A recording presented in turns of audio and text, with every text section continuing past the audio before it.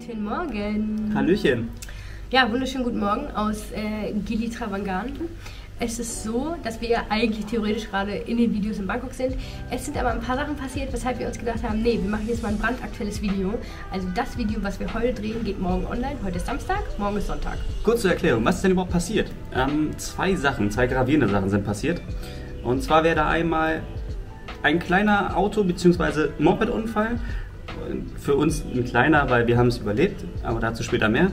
Und viel wichtiger, wir haben einen Festplattendefekt und somit einen Verlust unserer Daten zu verbuchen. Es war so, ich habe mich in Lumajang hingesetzt, das ist auf Java, also in Indonesien, habe die Daten versucht zu speichern. Ähm, irgendwie war es dann so, dass die Festplatte ausgeworfen worden ist von meinem MacBook, wo ich schon so gedacht habe, hm, komisch. Und äh, wir haben uns dabei aber nicht gedacht und sind erstmal essen gegangen. Und als wir wiedergekommen sind und irgendwie weiter an unserem Video rumschnibbeln äh, wollten, weil das ist unser tägliches Brot, dass wir eigentlich jeden Tag an unseren Videos arbeiten, ähm, ist die Festplatte nicht mehr erkannt worden. Und ja, wir haben natürlich erstmal so das auf die leichte Schippe genommen. Ja, Festplatte wird halt nicht erkannt, mal kurz ausstecken, wieder reinstecken, mal kurz ausstecken, wieder reinstecken. Bis wir dann gecheckt haben, hier geht gar nichts mehr. Die war nicht mehr vorhanden. Das allerbeste gerade ist einfach, dass ich eine Ausbildung als ITler genossen habe, die auch sehr gut verlief und dementsprechend habe ich auch sehr viel gelernt. Und äh, ich konnte also mein Wissen ein bisschen anwenden und äh, von binnen Stunden zu einigen Tagen haben wir es dann doch geschafft, mit viel Frustration und sehr, sehr, sehr, sehr viel Schweiß und Blut, dass wir ein bisschen der Daten herstellen konnten.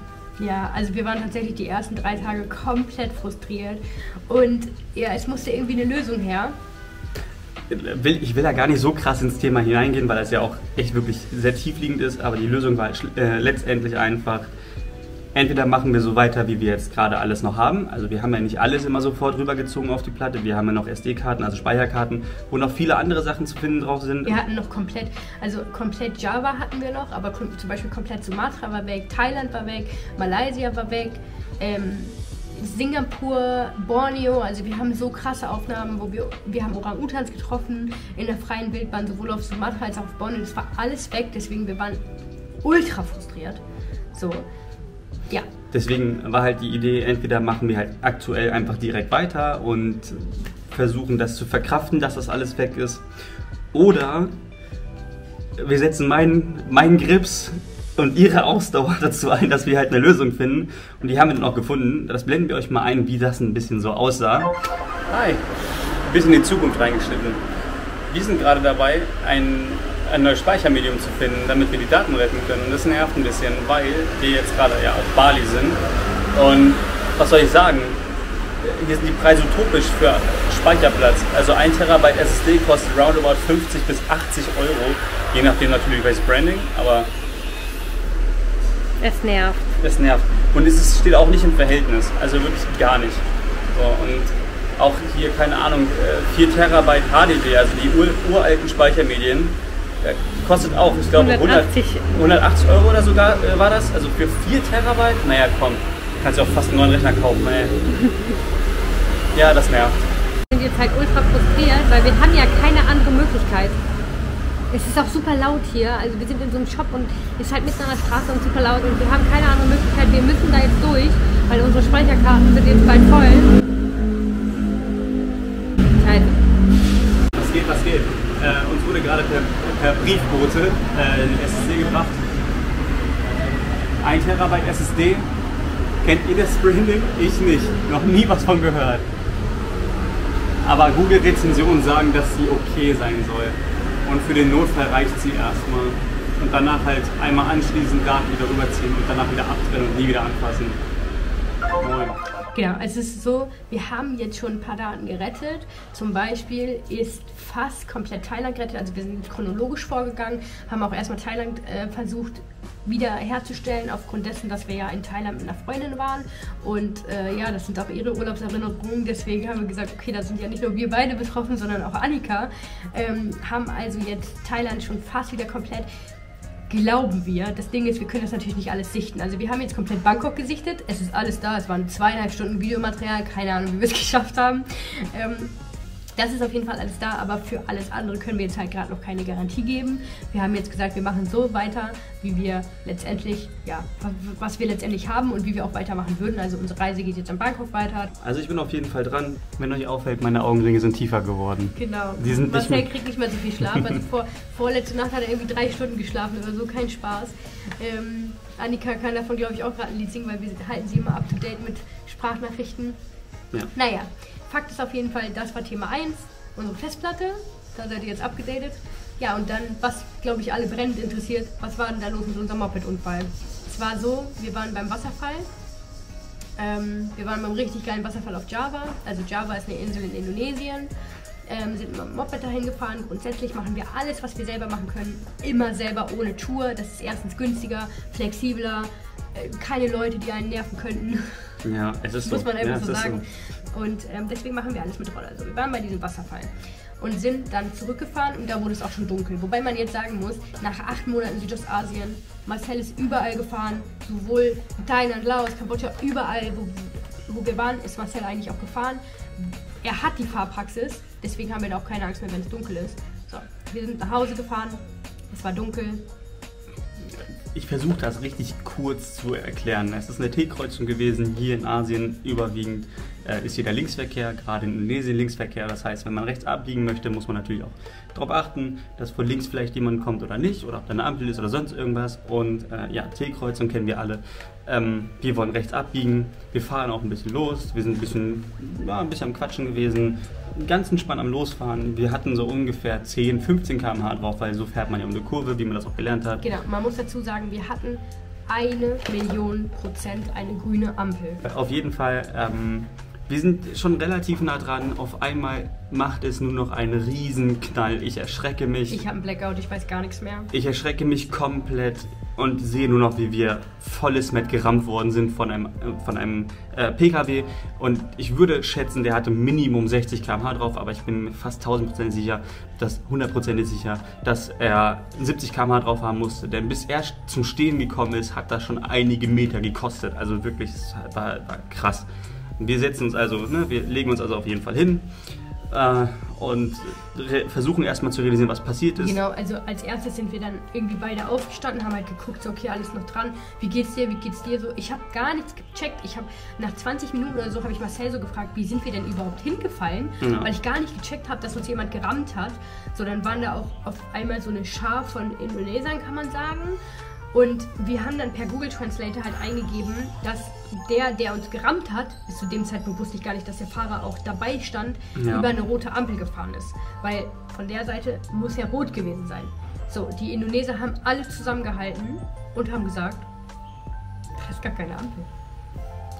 Tja, das ist natürlich ein bisschen gelogen gewesen, denn da war eine Ampel. Ja. Und da war auch eine Rotschaltung sowohl für geradeausfahren als auch für rechtsfahren, also von der anderen T-Seite aus rechts fahren. Ähm, wir haben das nochmal geprüft gehabt am nächsten Morgen, weil natürlich haben wir das nicht währenddessen geprüft. Wir waren ja völlig unter Adrenalin und Schock und allem drumherum. Das heißt, es war gar nicht möglich für uns, das eigentlich zu realisieren. Ähm, wie gesagt, am nächsten Morgen haben wir es dann gecheckt gehabt und ja, ganz entspannt. Wir sind da auch nochmal mit dem Moped lang gefahren und ja, es ist eine reine Rotschaltung, sowohl für geradeaus und für rechts fahren. Genau. Aber gut, die Frage, die uns natürlich auch gestellt worden ist, was mussten wir dafür jetzt zahlen? Das Gute ist, dass wir beide doch recht schnell geschaltet hatten und gesagt haben, wir müssen jetzt unseren Hostelmann ähm, Mann da anrufen, damit er einfach auch zur Übersetzung kommt. Nicht nur, dass er halt einfach sieht, was wir da gemacht haben, sondern weil er halt übersetzen konnte. Und das haben wir gemacht, ihn angerufen, er kommt rum und er hat noch den Rollerverleihmann ähm, daher geholt. Auf jeden Fall kam dann die Verhandlung mit unserem Fahrer, mit dem Hostelmann und äh, dem, dem Mopedverleihmann. Und wir haben echt Glück gehabt, dass die beiden, also der Hostelmann und der Mopedverleihmann, auf unserer Seite Ja. waren und auch einfach nur glücklich darüber waren, dass wir noch am Leben sind.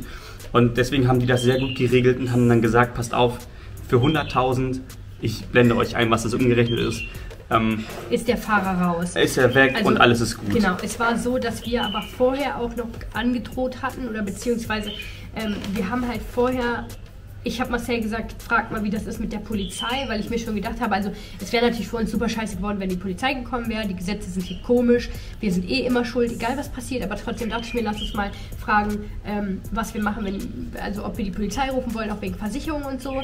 Man muss sich vorstellen, diese Schare von Indonesiern wurde dann total aufgebracht, es war alles aufgewühlt, einer Ja. ist sofort weggelaufen. Ja. Also der, hatte, der hat einfach Cops gehört und ist weggelaufen, das war wirklich richtig crazy. Und dann hat der Fahrer vom Auto halt gesagt, okay, pass auf, was wollt ihr mir geben? Dann haben wir gesagt, gar nichts. Ja. Ich meine, eine Sekunde anders und wir wären tot gewesen.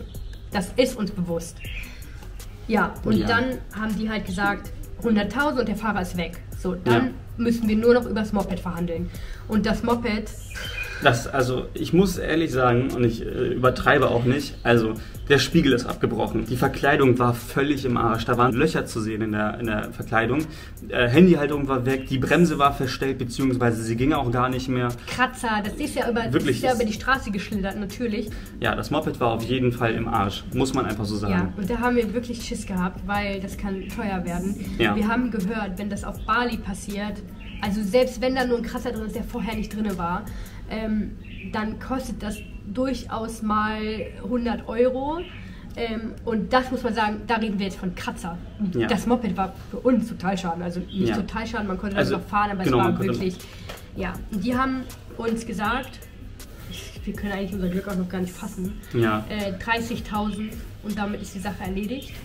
30.000, wir blenden es euch ein, damit wir es ganz haargenau sagen, was es ist.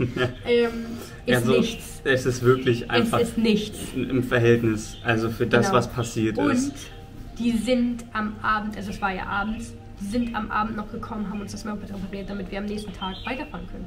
Genau, das war das Allergeilste eigentlich. Sagt unser Hostelmann zu uns, ja, ja, beruhigt euch, alles gut. Ihr wollt ja morgen zu Bromo, die wussten, die wussten ja, was wir machen wollen. Ihr wollt morgen zu Bromo, wir machen das, wir regeln das. Ja. Wir lagen Ja. am Ende auch einfach nur in unserem Bett und haben uns gedacht, Was ist passiert? Glück gehabt. Wo sind wir hier eigentlich? Wer sind wir sagen- eigentlich? Sind wir Travelicious? Travelicious. ähm, man muss dazu sagen, meine Hand war geprellt. Das war aber weniger schlimm. Also ich hatte eine kleine Wunde ähm, am Arm und meine Hand war halt geprellt. Marcel hat es ein bisschen mehr erwischt. Der hatte hier so eine riesen Schramme. Das muss irgendwie vom Spiegel gekommen sein oder so, weil Marcel ja vorne sitzt. Er ist ja der Fahrer. Ja. Ansonsten war Marcels ganze Seite irgendwie aufgeschraubt. Sein Also die Bizeps ganze- ist so ein bisschen angegriffen. ja, der Biz die Bi- Bizepssehne war angerissen, das heißt, ich hatte ein wunderschönes Loch da drin. Genau. Ähm, ansonsten Ja. seine Beine und sein, also Beine und auch der Fuß war ähm, voll mit Schrammen. Ja, Marcel hat es da schon ein bisschen mehr erwischt als mich. Wir haben jetzt auch gehört, dass es meistens so ist, dass der, der hinten sitzt, der erwischt es nicht so viel. Und wir hatten schon mal so einen kleinen Unfall, da war das ein bisschen ähnlich. Ähm, ja, Fakt ist, wir haben es überlebt. Ja. Wir sichern unsere Daten. Das ist unser brandaktuelles Update jetzt gerade. Und ähm, damit wir das Video jetzt nicht so negativ beenden, äh, wir wollen jetzt versuchen, mindestens ein Video die Woche hochzuladen. Allerdings versuchen wir es jetzt alle fünf Tage zu machen. Ähm, das nächste Video ist schon fertig. Das kommt jetzt am Mittwoch. Das ist dann Bangkok Teil 1. Dann hoffen wir, dass am Sonntag Bangkok Teil 2 kommt und dann gucken wir mal, wie wir es hinkriegen. Ähm, es ist nicht so einfach. Reisen, schneiden, produzieren, äh, alles mögliche, Reiseplan und und und. Man denkt, ja, ihr chillt ja den ganzen Tag nur rum. Nein, so ist das nicht. Ähm, Man muss ja auch darauf achten, wo man hinkommt oder wir fahren jede drei Tage wechseln wir die Unterkunft. Das heißt, wir müssen jede drei Tage packen. Wir müssen überlegen, wie kommen wir von A nach B. Wir, müssen uns, die Umgebung muss neu gecheckt werden. Ja, es macht Spaß. Es sind, es ist wirklich richtig geil. Wir wollen jetzt gar nicht hier meckern oder so. Ähm, aber es ist nicht, ich fahre in All-Inclusive-Urlaub und fahre nach einer Woche wieder zurück. richtig. Und dann beeft man sich auch mal. Darum geht es gar nicht. Viel schlimmer ist, dass wir auch nicht immer richtiges Internet haben. Ja. Das darf halt, das wird immer wieder vergessen. So, Jetzt aktuell, wir blenden es euch mal ein. Du hast einen Screenshot, ne? Ich habe einen Screenshot, ja. Ja. Da, da, damit muss man arbeiten. Und jetzt mal ehrlich, Jungs und Mädels, das ist nicht einfach. Nein. Deswegen, wir geben uns Mühe, wir machen weiter. Wir danken euch auf jeden Fall voll für euren Support. Die Leute, die es teilen äh, auf ihren ähm, Kanälen, also gerade unsere Eltern, deine Mama und meine Mama. Ja, auch einen richtig dicken Kuss an meinen süßen kleinen Chris. Du weißt Bescheid? Genau. Das ist so, so geil, dass du es immer wieder teilst. Marco, mein Marco, äh, wir haben ja beide einen Marco. Marco teilt ja auch immer wieder. Danke dafür. So, wir verabschieden uns. Yes. Wir gehen jetzt schnorcheln. Das seht ihr dann aber irgendwann, wenn wir das Video hochladen. Yes. Haben euch lieb. Küsschen aufs Nüsschen, ihr wisst. Nicht lang schnacken, Kopf in Nacken. Tschüss.